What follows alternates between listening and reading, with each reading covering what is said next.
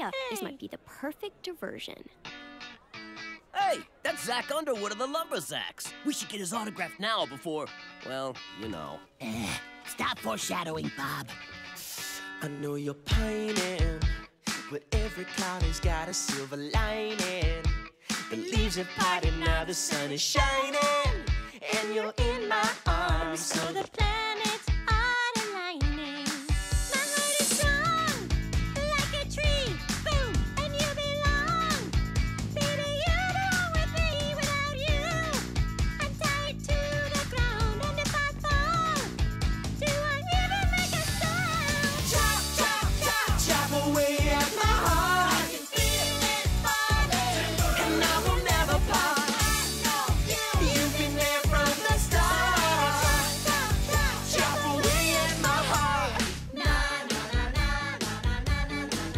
Mr. Murphy, quickly, over this way.